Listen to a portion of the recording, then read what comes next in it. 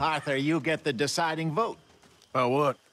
We take an insult and scurry off like cockroaches, or deal with business the right way. We don't need to take revenge. We hardly know the guy. This ain't about revenge, Hosea. Angelo Bronte don't mean shit to me. This is about the fact we are planning to rob a bank in his town. A bank that he no doubt protects. A town where his men are gunning for us. Before we do that, we need to put him out of commission. I disagree. There's always an easier way. There ain't no easier way. Now, I know his type. He is a vindictive little power broker who rules by fear. Now, we pull that stunt in his cesspit of a town, we're doomed. You want to leave this place? Leave this country? We need that money. It just don't feel good Dutch. This is it. This is the last job that we are ever going to pull.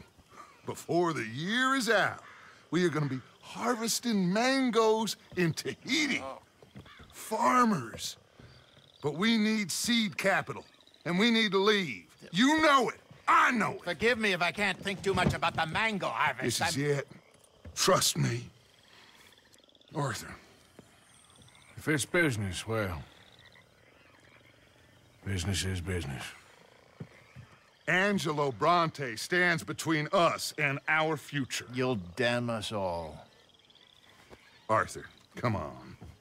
You better be right about this one. I am. I've heard that before. And you